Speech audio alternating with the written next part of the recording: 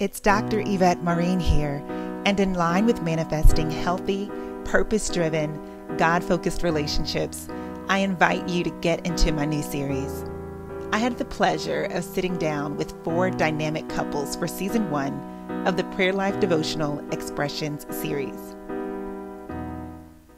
So I've got y'all here, the Dieuveilles. Yes. Um, and tell me, how, how long have y'all been together? And tell me a little bit about uh, your family.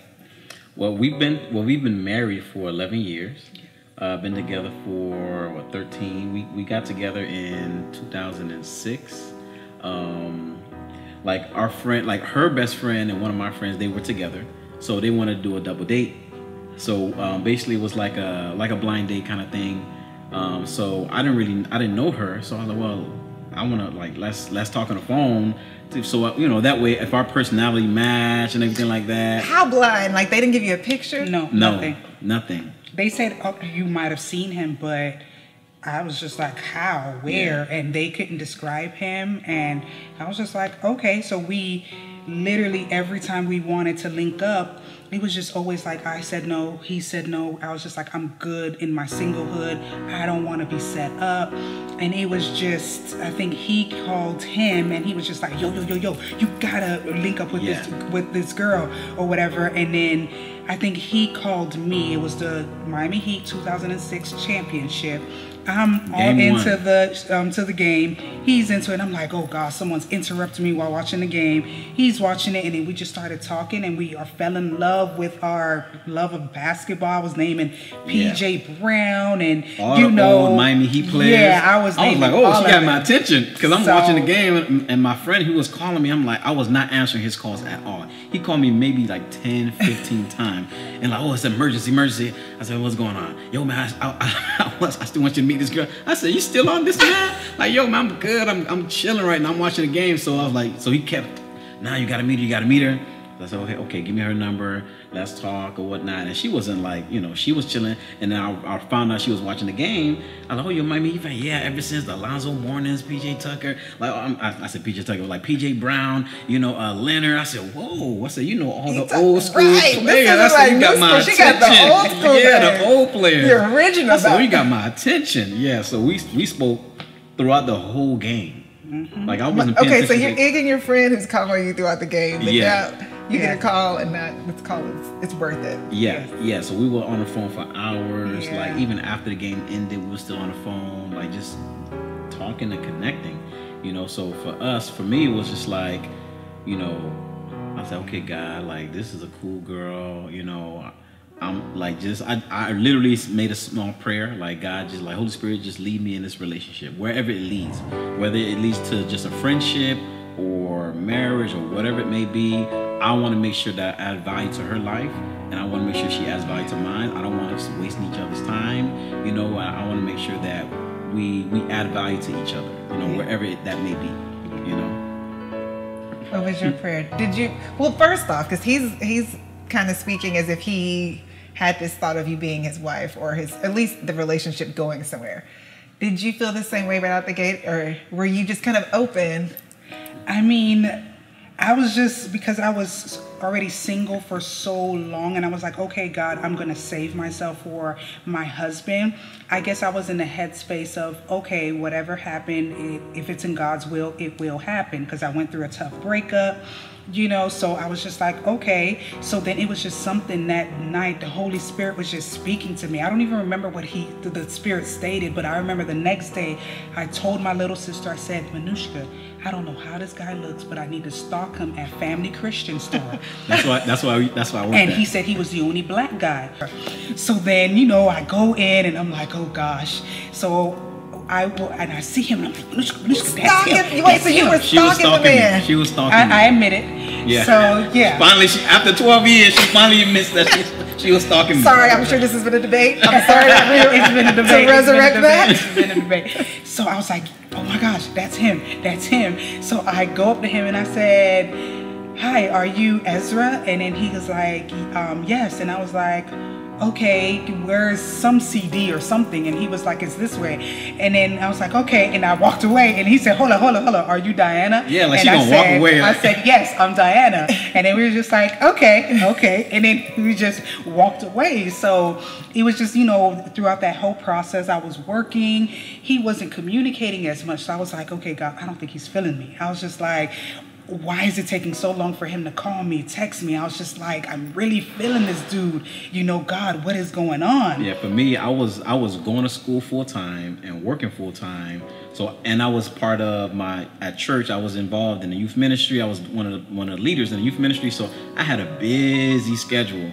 So for me, and, and for me, that was my prayer. Like I wanted to take my time with with this uh, with this young lady because previously I proposed to someone before right? And it didn't really work out well. We were we weren't on the same page. And you know so for me i was like well you know what? This time i'm gonna take my time. If it's to be it's gonna happen or whatnot. So i was very interested but i was just like you know what? Let me just play it cool. So what's interesting is both of y'all talk about before meeting having been let down or been hurt Yeah. or being guarded even in your approach to dating and getting to know each other. Which that's real. Like that's a real feeling that you all had to overcome. How did y'all get past that?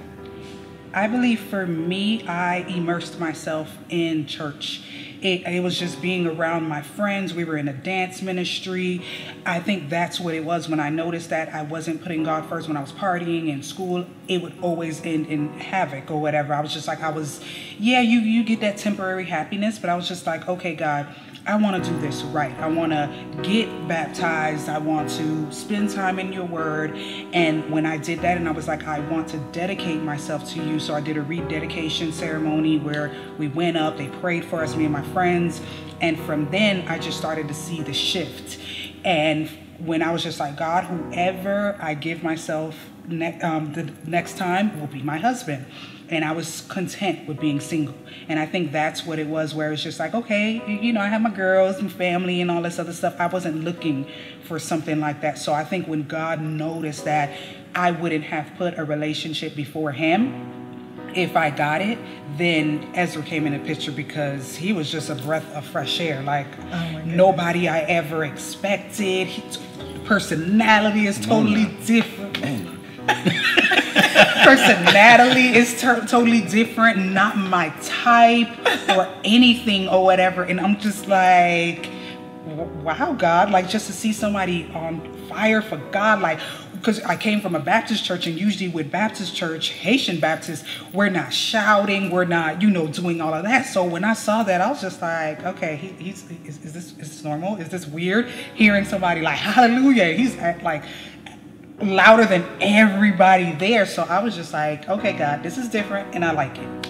Yeah, for me, I was like, immer- I was already like immersed in God, but you know, I had a desire to get married. I wanted to get married, you know. So um, at that time, um, like I said, I, I proposed to someone before, and it was just a connection. You know, we grew up in church together. You know, me and this, uh, this other young lady, we grew up in church together. We had feelings for each other, but it was never like a real committed. Right. This is my boyfriend, this is my girlfriend type of thing or whatnot. And that's kind of what I wanted. You know, so when that didn't happen, you know, I was just like, you know, at first I was almost kind of turned off by church because I was like, we went to the same church. Yeah. You know, but God literally led me. Like He changed my work schedule, so I had to work on Sundays. And and um, so a friend of mine told me that, oh well, you know, um, you can go to this church because they have service um, at an earlier time. I know, that's perfect. So I started going to a church, which is my church now, uh, Community Christian Church, um, my pastor Eddie.